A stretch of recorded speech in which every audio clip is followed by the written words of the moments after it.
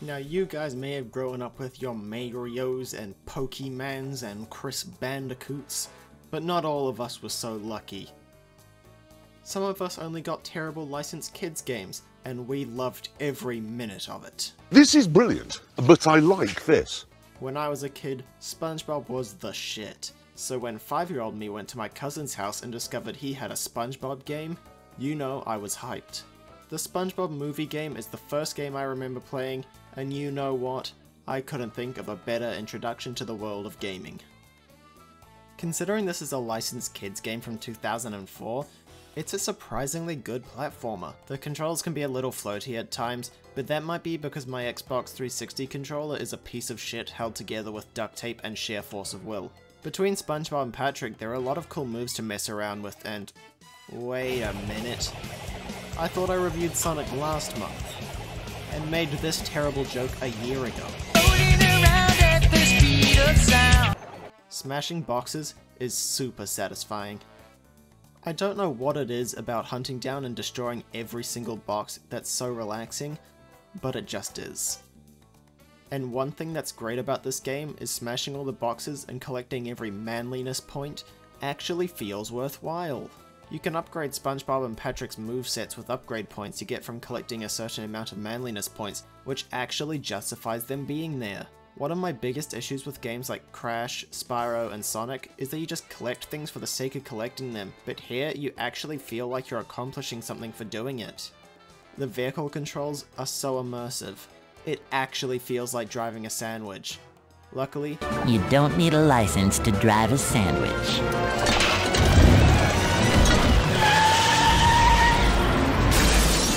The paddy wagon may handle like ass, but in fairness that is what makes driving sections fun. When you go off the edge of the road, the paddy wagon sounds like the psycho kid from the Wild Thornberrys. It had to be pointed out to me, but now I can't unhear it. Am I dating myself by mentioning that show? Do people actually remember it? That was smashing! I will whine about one thing though. Who the hell decided inverted camera controls were the way to go? I, like all sane people, hate inverted controls. If you use inverted controls, you should be locked up and kept away from the rest of society for all of our safety.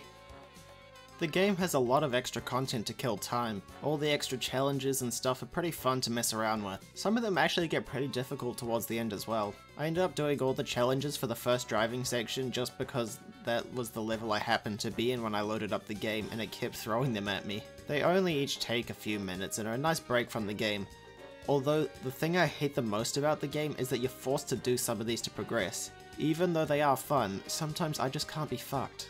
There are also a lot of collectibles to find which I really like. Each one is hidden behind a challenge of some kind, be it a door you need to open or some platforming challenge you need to complete. The collectibles themselves are a mix of cool extras and crappy bonuses. The costumes and other extras that change the game are really cool to see, but then you have the fucking movie trailers. I wasn't gonna watch the SpongeBob movie, but now that I've seen the trailer for the SpongeBob movie in the SpongeBob movie game, I'm convinced.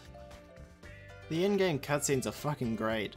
All the little intro animations for a new type of enemy are actually pretty funny and it's clear that actual effort went into them. The screenshots from the movie are a slightly different story. These are the most fucking low quality JPEGs they could have used. To prove my point, I'll use a quote I got from someone who played the game. These look like racist Discord memes. I keep expecting them to say something racist. Why didn't they just use clips from the actual movie? It's not like they couldn't do video at the time. They even already have clips from the movie in the game as extras. How is it they could add the trailer to the game, but not just use the actual clips for the cutscenes? Is it because they're trying not to spoil the movie?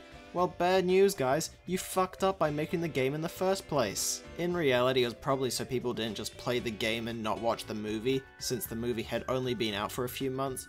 But fuck you, that makes too much sense and I want to whine. But even if that is the reason, you still see exactly what the movie was through the JPEGs, just worse. The music fucking slaps and it has absolutely no right to go this hard. This is a fucking early 2000s SpongeBob game. Why are there guitar solos in my early 2000s SpongeBob game? There is so much variety in each track, and going through the entire soundtrack I could not find a single bad one. I'm just out here vibing to the depression theme, not quite what I expected the soundtrack to depression to be, but alright. They even put Goofy Goober Rock in the game and that is genuinely one of my favourite songs. It's fucking dumb and I love it.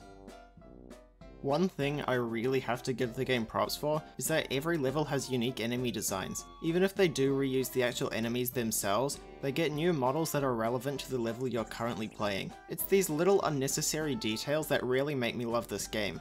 They didn't have to create new enemy designs for each level, but they did anyway. Even some of the highest budget AAA games don't do that. This is a really good game, based on the greatest movie of all time. This game is my childhood and I'm glad to see that my love for it isn't just a mix of nostalgia and being a stupid kid when I first played it. Now we just need to get a remake just like Battle for Bikini Bottom.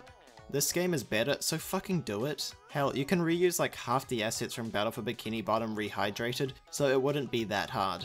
Share this video and make the SpongeBob movie game trend so it happens. Anyway, I'm off to go rewatch the SpongeBob movie for the millionth time, so I'll see you guys later.